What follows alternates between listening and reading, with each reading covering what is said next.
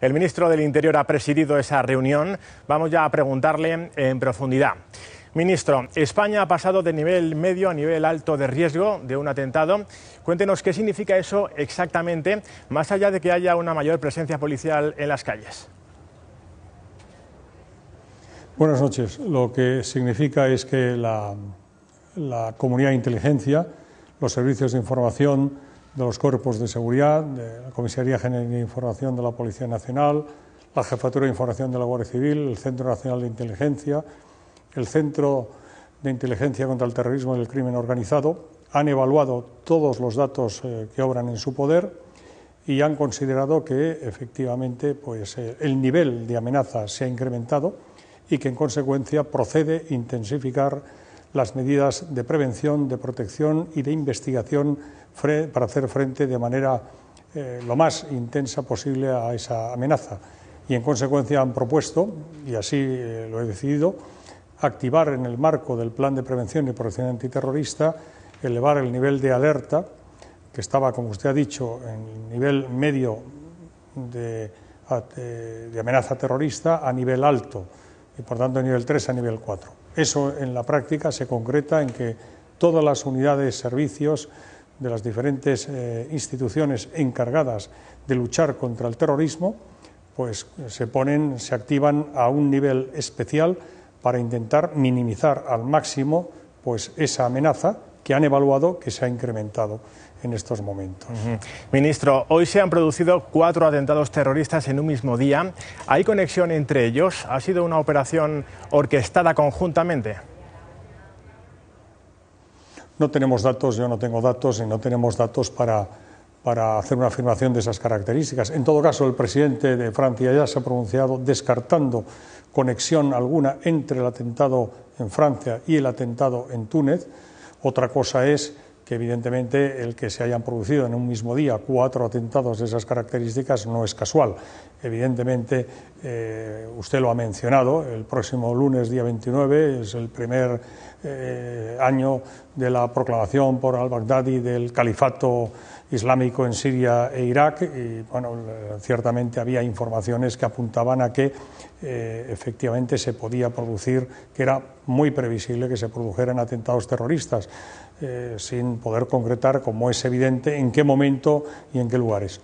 También en Kuwait eh, ha sido reivindicado por Daesh el atentado de Francia, la víctima junto a ella ha aparecido pues una bandera de Daesh, eso es una conexión pero, eh, repito, mm, eh, más allá de lo que acabo de decir, no puedo, no estoy en condiciones de precisarlo en estos momentos. Hemos visto, ministro, cómo en España se ha detenido a decenas de terroristas en los últimos meses y le pregunto, ¿tienen vínculos con España los terroristas que hoy han sembrado el pánico en Francia o en Túnez? Primer lugar, es efectivamente cierto lo que usted ha dicho. Yo quiero recordar que España padeció el mayor atentado terrorista de la historia de Europa el 11 de marzo, con 192 muertos y cerca de 2.000 heridos. Desde entonces no se ha producido ningún atentado, pero se han producido numerosísimas operaciones y numerosos eh, detenidos que han sido puestos a disposición judicial. Eh, han sido prácticamente 568 los detenidos en muchas operaciones. Solo lo que llevamos de legislatura, 109 operaciones y, eh, más de 100 detenidos. Y en este año, que ahora prácticamente estamos a mitad de año, le puedo decir que han sido 12 las operaciones desarrolladas y 45 las personas detenidas y puestas a disposición judicial. Es decir, que de manera permanente y continuada eh, los servicios y las unidades encargadas de luchar contra el terrorismo evidentemente están actuando y sin duda, y sin duda han evitado atentados terroristas, intentando minimizar el riesgo desde la convicción de que el riesgo cero evidentemente no existe. Eh, dicho eso, nuestra colaboración con Francia, como se sabe, en materia de lucha antiterrorista es absolutamente eh, extraordinaria, es difícilmente superable. Nuestros servicios están en estrecha eh, comunicación y coordinación con los servicios franceses y en el momento en que les hablo no puedo ir más allá de lo que les acabo de comentar. No puedo darles datos adicionales al respecto. Una última pregunta. Usted, como ministro del Interior de España, ha promovido una cumbre internacional contra el yihadismo. Estamos en guerra, lo ha dicho hoy mismo usted. Díganos, ¿qué pasos se están dando para luchar contra el yihadismo? ¿Cuál es la estrategia, esa estrategia conjunta, común? Bueno, eh, yo quiero recordar lo que ustedes mismos han puesto, han recogido las eh, palabras que desde Bruselas ha formulado el presidente del Gobierno, aludiendo a que no estamos ante una guerra de religiones, estamos ante una guerra de la barbarie contra la civilización. Hemos visto que ha sido en Somalia, en Kuwait, en Túnez, eh, países musulmanes, por tanto, eh, también en Francia, eh, simultáneamente y en el mismo día. Por tanto, estamos en una guerra de la barbarie contra la civilización. España es un país civilizado, forma parte de la civilización y, evidentemente, todos compartimos amenaza y en la medida en que compartimos amenaza debemos compartir también las herramientas de respuesta a esa amenaza desde la convicción de que unidos somos más fuertes y de que unidos evidentemente vamos a derrotar a estos terroristas, a estos, a estos bárbaros. Y evidentemente el terrorismo yihadista tiene unas características que difieren del terrorismo que pudiéramos denominar convencional o que conocemos nosotros de manera especial en España. No por ello menos sangriento, pero sí que desde su punto, de vista de su organización y su modus operandi es distinto. Me refiero al terrorismo de ETA o si quiere usted al terrorismo del Grapo. ¿no?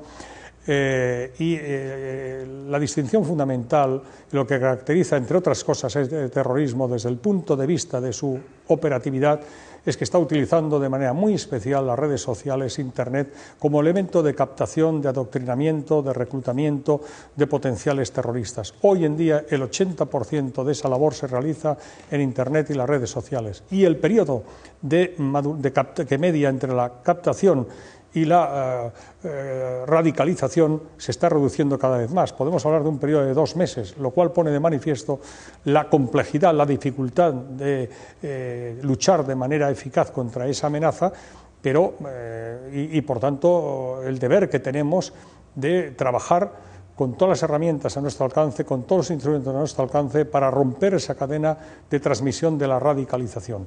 En, ese, en, ese, eh, en esa cadena de transmisión de la radicalización, evidentemente, estamos trabajando en todos los eslabones para que desde el comienzo hasta el final, pues eh, rompiendo esos eslabones, eh, consigamos que efectivamente esos potenciales terroristas que quieren desplazarse a integrarse en organizaciones terroristas a zonas de conflicto, sea en el Daesh o en las filiales de Al-Qaeda, o los que se quedan, o los que retornan, o los que querían desplazarse y, no han podido hacerlo y son terroristas eh, desplazados frustrados, cualquiera de esos, evidentemente, pues que sean neutralizados eh, a tiempo para evitar que pueda consumar su deseo de efectuar esas, esas acciones. Hasta ahora, como he dicho, estamos siendo especialmente eficaces. Estamos consiguiendo ser muy eficaces. Las cifras de detenciones, las cifras de operaciones lo ponen de manifiesto.